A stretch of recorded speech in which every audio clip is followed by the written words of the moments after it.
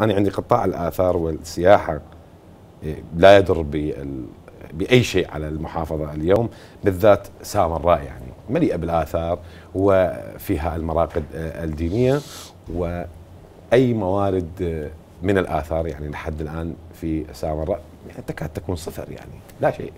مع العلم بها مدن يعني ضاربة بالعمق التاريخي، بها المراقد المقدسة، كل شيء لحد الآن ما يصل إلى هاي المدن بالأخص سامراء. يعني أنا إذا أقول السامره الآن مظلومة ظلم كبير وهذا خاف يزعل من باقي المحافظه صلاح الدين كلها مظلومة بهذا الجانب.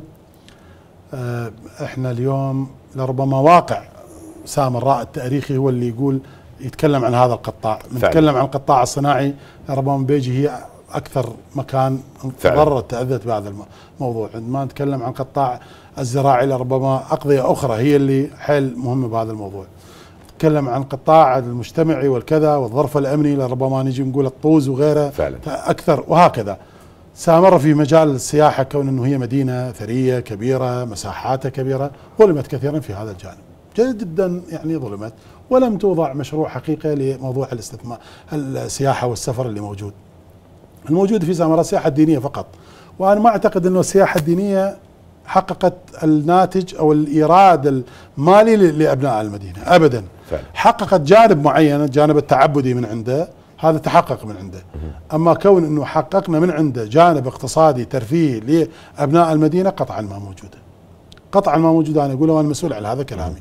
قطعا لم يبنى شيء جديد في سامراء طيل هاي السنوات من إيرادات السياحة ابدا. قطعت المدينة أصلا أنا, أنا من كنت قبل رئيس مجلس نعم. والله ما أعرف حتى هذا الميزانية. ويقولون أكو ميزانية مال سياحة وسفر. وينها ما أعرفها. ما ينطوها ولا أصلا نعلمها وين. فهذا موضوع يعني مشكلة كبيرة جدا. إضافة إلى أنه هكذا مرفأ سياحي لو كان بأي دولة أخرى من الدول المتقدمة كان هو بحد ذاته ميزانية حد ذاته مورد كامل لهذا يعني شلون نقول إحنا بير مال نفط فعلا. هذا أكبر من بير النفط كان. تركيا اليوم تركيا هذا البلد المتقدم الكذا كذا إلى آخره آه، تجاريا وصناعيا وكذا الرقم واحد من ايراداتها هي السياحه رقم واحد.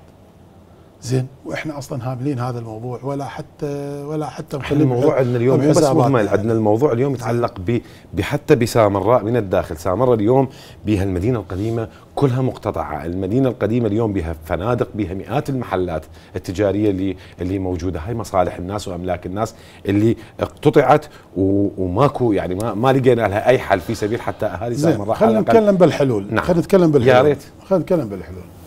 أنا أعتقد الحلول إنه إحنا ننظر من الجهات المتنفذة في سامراء. نعم. ولا بد أن يتم الكلام معهم في هذا الشكل. يعني عندما يكون هناك جهة مسؤولة مسؤولين يطلعون من هاي المدينة أو من هاي المحافظة يتكلمون مع المعنيين بملف سامراء سواء كان معنيين بالملف الأمني، الملف الخدمي، الملف السياحة والسفر، الملف الديني، كل كل. هاي المعنيين حقيقة يصير لهم كلام. اليوم إذا الكل توفرت إلى مصلحة من تطوير الواقع آه، المدينة سواء كان على مستوى السياحة أو السفر أو البناء أو العماره أو أو كل كل أو فندق أو كل هذا نعم. إذا كان هناك مصلحة للجميع بهذا الموضوع أنا أعتقد الكل راح تساهم بها. لا نخصص المصلحة لجهة معينة دون الجهة الأخرى. جميل. زين. حتى الأمن راح يقول لي واحد زين الأمن شنو الاستفاده حتى الجهات الأمنية والمؤسسات الأمنية تستفيد إذا تحقق نعم. الأمن.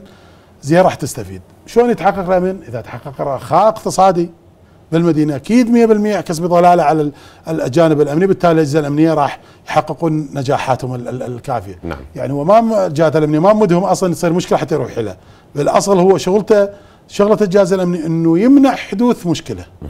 فإذا صار تطور اقتصادي إحنا منعنا حدوث المشكلة وهو النجاح الأمني الكبير هذا. شوف لاحظ الأبعاد التفكير شلون فعلا. السياسة يعني. أنا هذا اللي أقول عليه إحنا نحتاج رؤية واضحة للحلول نحط حلول للقادم من الأيام كذلك باقي الجوانب الأخرى. أنا أوفر اليوم سياحة تعال نوفر كل سبل السياحة. أوفرهم فنادق أوفرهم حدائق. هذا التوفير الحدائق والكذا خلي يكون آه، إيراداته علما تنعكس لأهل المدينة. فعلا. السائح ما جاي يمتلك قطعة أرض بالمدينة. لا. جاي يريد يريد يتوفر له جاي يريد يؤدي عبادة معينة ويريد يرتاح ويجي خلاص. زين وهو ينطي فلوسه هو ممنون بهذا الموضوع. فعلا. خلاص ابن المدينة يقول لك أنا دا أستقبل هاي الملايين كلها علي. زين أنا خل أستفيد من هذا الموضوع. انطيه فائده أبني هاي خل تصير سامرة مدينة تصير. من أعظم المدن.